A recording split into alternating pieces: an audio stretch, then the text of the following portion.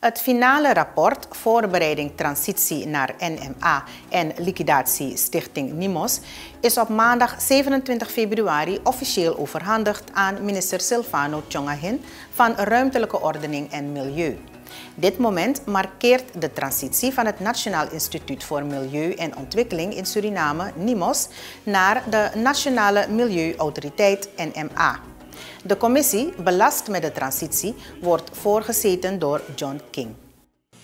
Nou, volgens de Milieuraamwet um, moet er een milieuautoriteit komen. Dat is gewoon voorgeschreven in de Milieuraamwet die nu al operationeel is eigenlijk. Die wet is afgekondigd nog voor het aantreden van deze regering. Um, en die wet voorziet in een milieuautoriteit. Eigenlijk een sterker instituut met veel meer bevoegdheden om te kunnen ingrijpen in, in milieusituaties. Het wordt eigenlijk een soort milieuwaakhond. Een instituut dat ook kan optreden bij overtreders. Maar veel belangrijker om een NMA te hebben, een milieuautoriteit, is het feit dat we weten dat Suriname op een gegeven moment veel meer gaat, zich gaat ontwikkelen. En vooral met het oog op oil en gas krijg je dus nieuwe ontwikkelingen.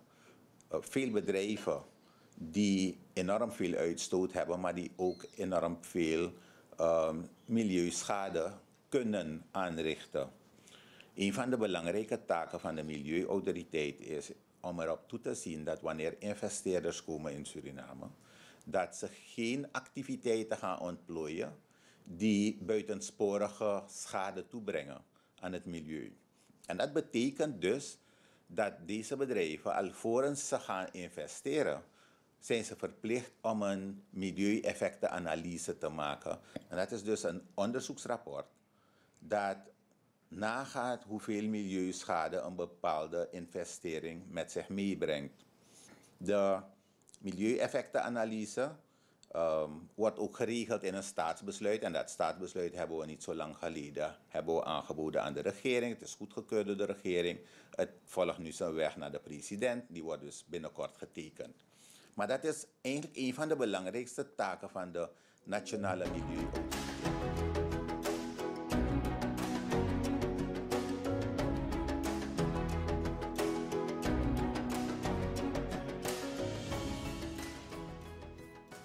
De reden van de transitie naar het NMA. Ja, en in elk geval ook de transformatie van het NIMOS naar uh, de, de, autoriteit. Um, is gestoeld op de wet die is aangenomen waarbij de nationale milieuautoriteit moet worden opgezet. Um, in de wet zijn er een aantal taken opgenomen wat betreft het milieu. En u weet uh, dat Suriname op een gegeven moment niet in isolation opereert. We zijn binnen, we opereren binnen de wereld en we hebben vooral onze oil en gas, waarbij wij daadwerkelijk protocollen in place moeten zetten en ook die controle op het naleven van de standaarden en de protocollen uh, moeten uitvoeren. En de Nationale Milieuautoriteit zal ervoor zorg dragen dat ze die normen die zijn vastgelegd, ja, um, ondersteunen en controleren. Um, we hebben op een gegeven moment als commissie um, een analyse gemaakt van wat er binnen het NIMOS is en welke uh, zaken binnen het NMA al zijn uh, binnen het NIMOS zijn uitgevoerd om het NMA op te zetten. En op grond, op grond daarvan hebben we drie aspecten geïdentificeerd die erg belangrijk zijn om die transitie plaats te laten vinden. Um, het businessplan tussen brackets. Want in principe is die autoriteit geen business, maar het zal zichzelf moeten bedruipen. Ja, is toen opgesteld op basis van het feit waar um, het NMA, haar, de NMA, haar inkomsten kan genereren. Um, er zijn gesproken met verschillende instanties ja, binnen Suriname en zowel buiten Suriname. En het gaat meer om kijken hoe, want de vervuiler betaalt. Ja? Dus dat is één. Twee, er moeten environmental impact assessments gedaan worden wanneer er projecten komen. Dus op grond daarvan moet komen, zijn er ook inkomsten. Maar wat belangrijk is, dat de overheid ook een verantwoordelijkheid heeft om het milieu intact te houden en in stand te houden voor de komende generaties. Dus op grond daarvan zullen zij ook een bijdrage moeten leveren voor de operationalisering van het NMA. Uh, wat is er specifiek opgenomen in het rapport dat u vandaag hebt overgedragen aan de minister? Um, wat er specifiek is opgenomen um, is de inkomsten, inkomstenkant, ja, waarbij aangegeven is waar de fondsen vandaan kunnen komen. Ten tweede, binnen de wet is aangegeven dat bij de transitie van het NIMOS, ja, of de transformatie van het NIMOS naar um, het NMA, uh, de NMA, er op een gegeven moment het personeel ja, ook gefaciliteerd moet worden met behoud van hun rechten. Ja, dus op grond daarvan hebben we zijn gaan bekijken wat zijn de mogelijkheden op basis van een structuur die uh, de autoriteit moet hebben.